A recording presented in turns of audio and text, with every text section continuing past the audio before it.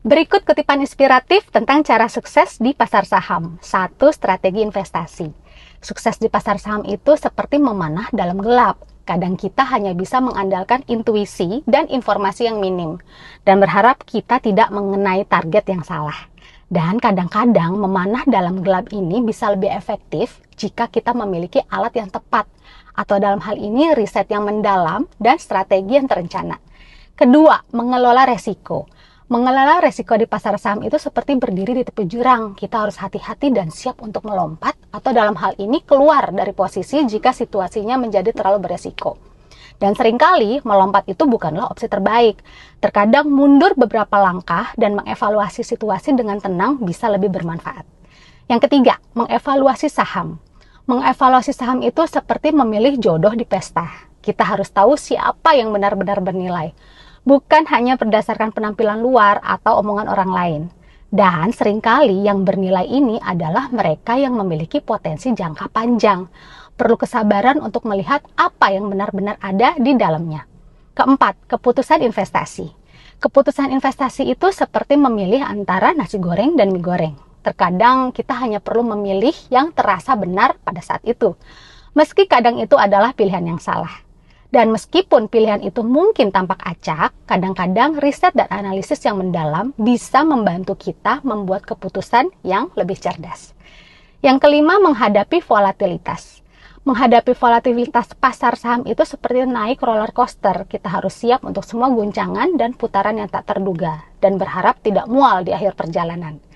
Dan jangan lupa untuk mengikat sabut pengaman atau dalam ini memiliki strategi diversifikasi yang solid agar kita tidak terlempar terlalu jauh. Yang keenam, memanfaatkan tren. Memanfaatkan tren di pasar saham itu seperti mengikuti mode. Kadang-kadang kita harus berani mencoba sesuatu yang baru, tapi juga harus siap jika tren itu cepat berubah. Dan yang penting adalah tidak terjebak dalam tren yang sudah mulai memudar. Selalu waspada dan siap untuk beradaptasi dengan perubahan.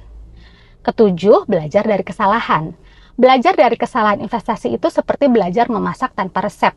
Kita mungkin membuat banyak kekacauan sebelum akhirnya menemukan campuran yang tepat. Dan dari kekacauan itu, kita sering mendapatkan pelajaran yang berharga. Setiap kesalahan adalah kesempatan untuk memperbaiki strategi dan menjadi lebih baik. Nah, kedelapan, berita dan informasi. Mengikuti berita pasar saham itu seperti mengikuti gosip selebriti kita harus bisa memisahkan yang benar-benar penting dari yang hanya kebisingan. Dan sering kali berita yang paling berharga adalah yang berasal dari sumber terpercaya dan analisis yang mendalam, bukan hanya rumor pasar. Kesembilan, disiplin dalam investasi. Disiplin dalam investasi itu seperti menjaga diet. Kadang kita tergoda untuk makan di luar rencana, tapi konsistensi adalah kunci utama untuk mencapai tujuan. Dan menjaga disiplin berarti memiliki rencana investasi yang jelas dan berpegang teguh padanya. Meskipun ada godaan untuk beralih atau bereksperimen. 10 nih, mengolah emosi. Mengolah emosi di pasar saham itu seperti mengendalikan amarah saat kalah dalam permainan. Kita harus tetap tenang dan tidak membiarkan emosi mengendalikan keputusan kita. Mengelola emosi berarti membuat keputusan berdasarkan data dan analisis, bukan hanya reaksi spontan terhadap fluktuasi pasar. Nah, semoga kutipan-kutipan ini bermanfaat ya. Bye.